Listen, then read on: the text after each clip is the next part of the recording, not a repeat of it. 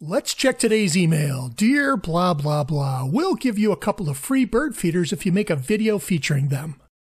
Uh, okay, let's see. A clear plastic feeder, some other type of plastic feeder. You know, taking that deal infers that I endorse products like this, and I just don't do endorsements unless I buy the product and do an unbiased review. You know, if they actually watch my channel, they would know that I make my own birdhouses and feeders and kitchen knives and furniture and wine racks and bowls and vases and wood sculptures too. And the real problem is I'm not for sale.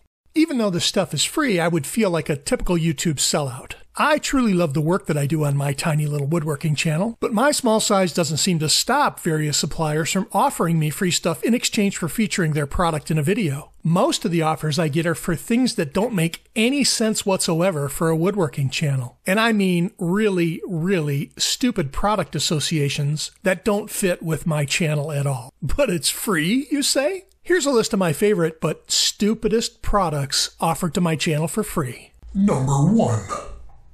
Well, let's start the ridiculous with something easy. Hello, the family woodworker.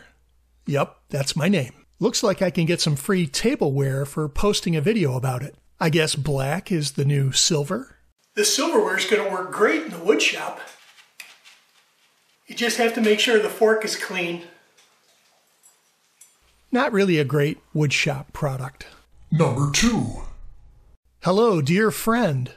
Aw, and I don't even know the guy but it looks like I can get a free faux diamond pendant in exchange for a video. Cool. An old woodshop guy wearing a diamond pendant? Maybe not the look they were hoping for, which begs the question do these guys even look at my channel?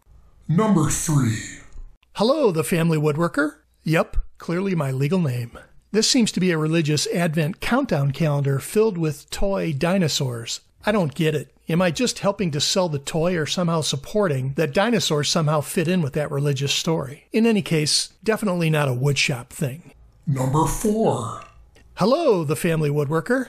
Hey, that's me. This product will be given to you in exchange for a YouTube video. Wait a minute. Get this. It's not a free NutriBullet. It's just parts for a NutriBullet. What? Yeah, buddy, send me those parts so I can talk about how great they work on a blender I don't own. Great marketing strategy doofus, dweeb, ditz. Moving on. Number 5. Okay, this offer is a little different. Looking for a partnership with their affiliate program to help market a ski fashion brand. This usually involves wearing the clothing, providing some links for product purchase, and then getting a commission on any items that are sold. The stuff looks pretty cool, but I don't think they envisioned an old guy like me being a brand ambassador. But I look wicked cool, right? Number 6.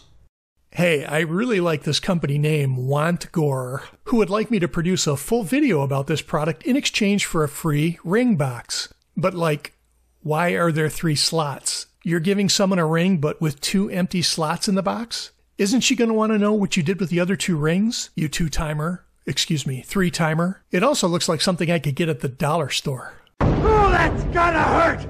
Number 7.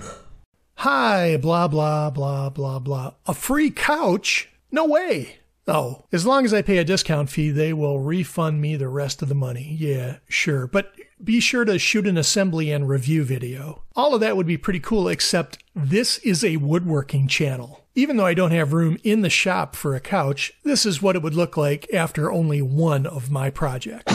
My wife already knows I'm a little messy. Number 8. Hello, you sexy beast. How about a collaboration with a beachwear company? This product will be given to you for free in exchange for a video.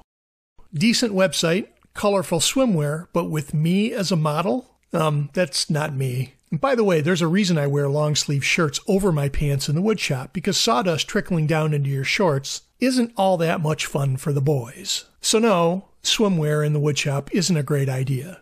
Number 9 more toys made from wood, and I can get a 10% commission on each unit sold. Feels a little bit like I'm back being a cheap shill for a company I don't know. And once again, I have a woodworking channel. I will probably be making my own wooden toys for my grandkids, thank you. Number 10.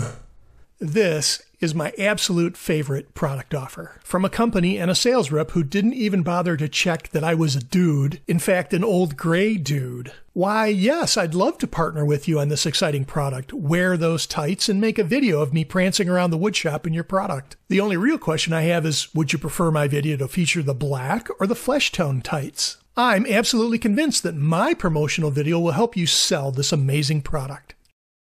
So that's it for my top 10 worst free product offers. So far, anyway. I think I'll continue rejecting emails like this, saving my reviews for tools and products that I actually choose to buy with my own money. That keeps some integrity in the house, and I'll still feel good about myself. Hey everybody, thanks for watching. I really hope you give us a like, perhaps subscribe to our channel, and leave us a comment too. It all helps our channel grow on YouTube. Stay frosty.